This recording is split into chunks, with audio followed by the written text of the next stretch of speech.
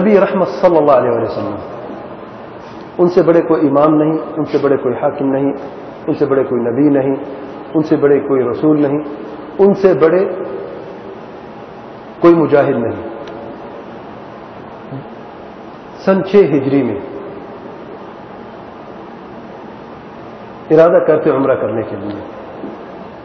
عمرہ کرنے کے لیے جاتے ہیں، چودہ سو صحابی ساتھ ہیں۔ ظالموں نے مشرقوں نے، کافروں نے روک دیا۔ عمرہ نہیں کرنے دیا۔ نبی رحمۃ صلی اللہ علیہ وسلم احرام باندھ چکے ہیں۔ الحدی قربانی کے جانور بھی ساتھ لے چکے ہیں۔ ظالم نے روک دیا۔ یاد رکھیں، چھ ہجری کا مطلب ہے، جنگ بدر گزر چکی دو ہجری میں، جنگ عہد گزر چکی تین ہجری میں، جنگ احزاب گزر چکی پانچ ہجری میں۔ اور ان تین جنگوں میں کامیابی نبی رحمۃ وسلم کی ہی ہوئی۔ جنگ عہد میں بھی جہاں جنگ عہد میں بھی۔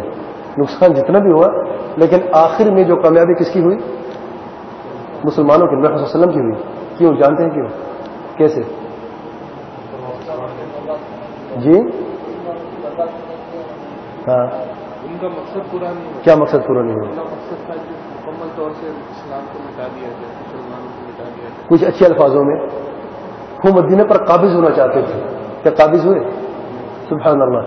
حالانکہ جنگ جیت گئے اور نبی رحمۃ وسلم پہاڑ پر چلے گئے۔ صحابہ کرام بھی ساتھ تھے، میدانوں کے لیے خالی تھا۔ انہوں نے صحابہ کرام سے بدتمیزی بھی کی، ان کے ناک بھی کاٹے، کان بھی کاٹے اور پیٹ بھی چاک کیا اور کلیجے بھی کاٹے۔ یہ سب کچھ کرتے رہے۔ اور جنگ کے آخر میں نبی رحمۃ صلی اللہ علیہ وسلم نے ایک صحابی کو یہ فرمایا، جا کے دیکھو، یہ اونٹوں پہ سوار ہوتے ہیں یا گھوڑوں پہ سوار ہوتے ہیں؟ جانتے ہیں کیوں؟ یہ کیوں فرمایا؟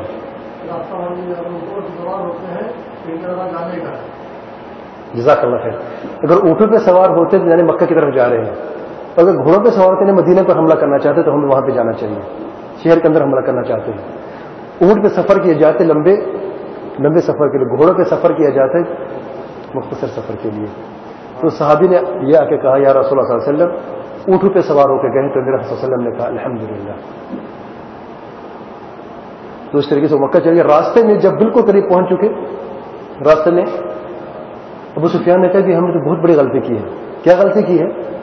بھی مدینے میں حملہ کیوں نہیں کیا ہم لوگوں نے؟ شہر شہر کی طرف کیوں نہیں گئے؟ بھائی جب تو جیت چکے تھے ہم۔ پھر واپس آنے کا ارادہ کیا۔ اللہ تعالیٰ نے وحی کے ذریعے یہ بیعت بیان کر دی کہ واپس آ رہے ہیں۔ غزوت حمرا الاسد، نبی رحمۃ صلی اللہ علیہ وسلم اسی وقت صحابہ کو حکم دیتے ہیں اور صحابہ کرام بھی اسی خون میں، اسی تکلیف میں اسی وقت جو گھوڑے پہ بیٹھ نہیں سکتا تھا، سہارے کے ذریعے گھوڑے پہ بٹھا دیا اور انہوں نے دفاع کرنے کا عزم کر لیا۔ تو اللہ تعالیٰ نے ان کے دل میں یہ خوف اور رعب ڈال دیا۔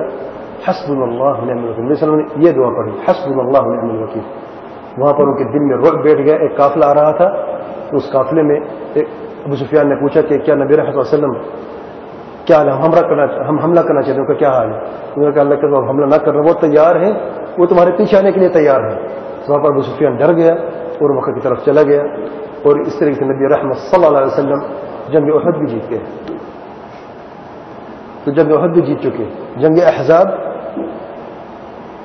کافروں نے محاصرہ کر لیا۔ جنگ خندق میں، جنگ احزاب میں اپنا پورا زور لگا دیا۔ اللہ تعالیٰ کا حکم ہوا۔ تو ایک اللہ تعالیٰ ایک ایک فوجی بھیجا اپنی طرف سے۔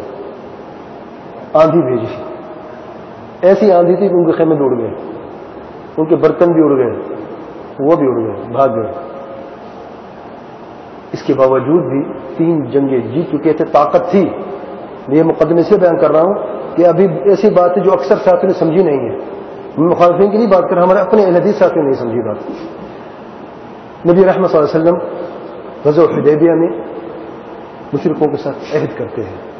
میں عہد کی بات کروں کہ حاک میں وقت عہد کرتا ہے۔ عہد کیا۔ عہد کیا تھا؟ بہت ایسی شرطیں تھی جس میں ظاہراً ذلت ہے، ظاہراً رسوائی ہے کہ جو بھی کافروں میں سے مسلمان ہوگا، تم اسے واپس کرو گے۔ اور جو بھی مسلمان سے کافر ہوگا، اسے وہ ہمارے، تم اسے ہمارے حوالے کر دو گے۔ نبی رحمۃ صلی اللہ علیہ وسلم نے اقرار کیا۔ اور تھوڑی دیر پہلے درخت کے نیچے چودہ سو صحابہ نے زندگی موت کا فیصلہ کر لیا اور عہد کر لیا کہ رسول اللہ آپ کے اشارے پر ہم جان دے دیں۔ پیچھے نہیں ہٹیں گے۔ اور صحابہ کرام اسی موقع پر جب عرو بن مسعود آئے اور دیکھا، بڑا عجیب سا ایک نظارہ دیکھتے ہیں کہ نبی علیہ وسلم جب تھوک پھینکتے ہیں، جو لعاب نکالتے ہیں اپنے منہ سے سب اپنے ہاتھ اٹھا لیتے ہیں، بلغم کو ہاتھ اٹھا لیتے ہیں، جسم سے مل لیتے ہیں۔ جب وضو کا پانی بچتا ہے تو صحابہ کرام اس پہ لڑ پڑتے ہیں تو بروں کے لیے پانی دے لیتے ہیں۔ اس نے جا کے کہا، اللہ قسم، میں کسر کے دربار پہ گیا کیسر کے دربار پہ گیا، نجاشی کے دربار پہ گیا۔ ایسی محبت متبعین کی ان کے ساتھ میں نے کسی کی نہیں دیکھی۔ جیسے محمد صلی اللہ علیہ وسلم کی متبعین سے محبت کرتے ہیں۔ تمہارے بہتر ہے کہ ان کو چھیڑو نہیں، میرا یہ مشورہ ہے۔ پھر تم نے کیا دیکھا؟ کہ میں نے یہ دیکھا کہ مجھ سے بلغم جو نکلتا ہے، جسے ہم گندگی سمجھتے ہیں ہاتھوں میں اٹھا کے اپنے منہ پہ مل لیتے ہیں۔ منہ جسم کا سب سے بہترین حصہ ہے، عزت والا حصہ ہے۔ اور بلغم کو ہاتھوں پہ اٹھا کے منہ پہ مل لیتے ہیں، جسم پہ مل لیتے ہیں۔ جو لوگ ایسا کر سکتے ہیں، کیا انہیں میرا حسن کو کوئی ہاتھ بھی لگا سکے گا؟ کسی کو پہنچنے دیں گے وہاں تک؟ وہ گردنے کٹوا دیں گے، کوئی ہاتھ نہیں لگا سکے گا۔ اس لیے وہ عہد پر مجبور ہو گئے۔ اچھا معاہدہ کیا؟ معاہدہ بھی کیسا کیا؟ جیسے میں نے بیان کیا۔ نبی رحمۃ صلی اللہ علیہ وسلم نے قرار کیا۔ اسی وقت ابو جندل آئے۔ ابو جندل امر بن ہشام کیا نام تھا؟ سہیل بن امر جزاک اللہ خیر۔ سہیل بن امر جو معاہدہ لکھ رہا تھا، ابھی لکھا نہیں، صرف بات ہوئی۔ اس کا بیٹا مسلمان ہو چکا تھا، ابو جندل۔ ہتکڑی لگے ہوئے، کسی طریقے سے وہ بھاگ کے آ گیا۔ وہ بڑا خوش کہ میں رسول اللہ صلی اللہ علیہ وسلم سامنے صحابہ کرام ہے چودہ سو کی تعداد ہے، اب میں بچ گیا۔ آ کے کہتے ہیں نبی السلام کے کئی واقع بیٹھتے ہیں۔ صحابہ کرام خوش ہوئے کہ یہ بھی ہمارے ساتھ آ گیا۔ تو اس کا باپ پکڑ لے تو اسے مارتا ہے۔ نبی رحمۃ صلی اللہ علیہ وسلم فرماتے عجیز ہولی سے بخاری مسلم میں ہے۔ عجیز ہولی، میرے لیے، صرف میرے لیے۔ اس کی اجازت ہے۔ ابھی ہم نے عہد لکھا نہیں ہے کہ میرے حوالے کر دو۔ ہمارے ساتھ جانے دو۔ اس کے باپ نے کہا، ہرگز نہیں۔ یہی سب سے پہلے اس عہد میں داخل ہے۔ میرا بیٹا داخل ہے۔ نبی رحمۃ وسلم نے پھر فرمایا، عجیز ہولی۔ صرف میرے لیے جیسے انسان کوئی مطلب ایک منت کرتا ہے۔ یعنی کہنے مقصد یہ، اگر میں سابق امین تھا کسی زمانے میں، تمہارے ساتھ کوئی رشتہ تھا یا کوئی عزت تھی، تو اس کی وجہ سے اس شخص کو صرف معاف کر دو، اس کی اجازت دے دو۔ لیکن ان ظالموں نے خوشی کو کافروں نے نہیں مانا۔ صحابہ کرام رو رو کے گھٹے کے بل گر گئے۔ حضرت عمر نے کیا فرمایا؟ جانتے ہیں؟ یا رسول اللہ صلی اللہ علیہ وسلم کیا ہم حق پہ نہیں ہیں، اور حق پہ ہیں۔ کیا وہ باطل ہیں؟ وہ باطل پہ ہیں کیا اگر ہم جب ہم مرے جنت نہیں جائیں گے؟ جنت نہیں جائیں گے۔ تو پھر ہم دین میں کیوں ہم ذلت اور رسوائی ظاہر کریں؟ تو جنگ کرتے ہیں، لڑتے ہیں، جہاد کرتے ہیں۔ عمران صلی اللہ نے فرمایا، میں اللہ تعالیٰ کا رسول ہوں اور اللہ تعالیٰ مجھے نصرت عطا فرمائے گا۔ اللہ کتنے پیارے الفاظ ہیں۔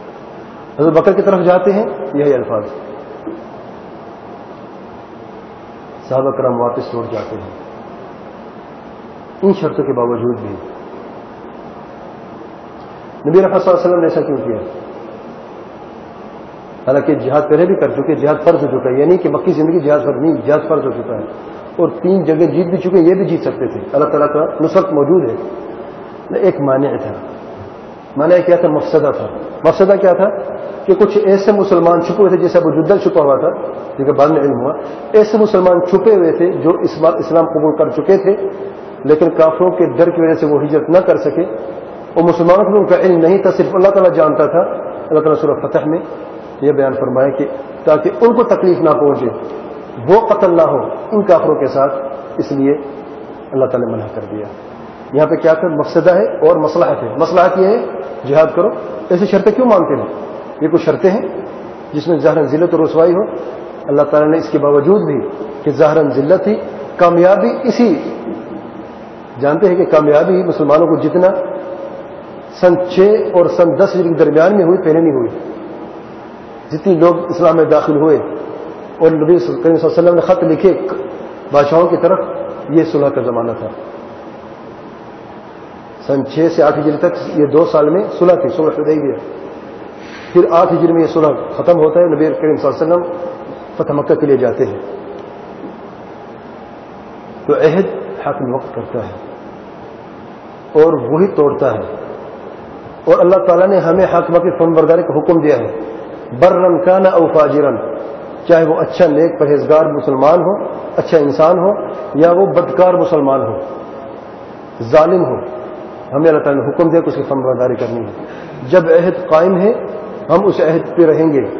جب وہ عہد حکمران اعلان کرے گا ٹوٹ گیا ہے، وہ جہاد کا حکم دے گا، ہم جہاد کریں گے۔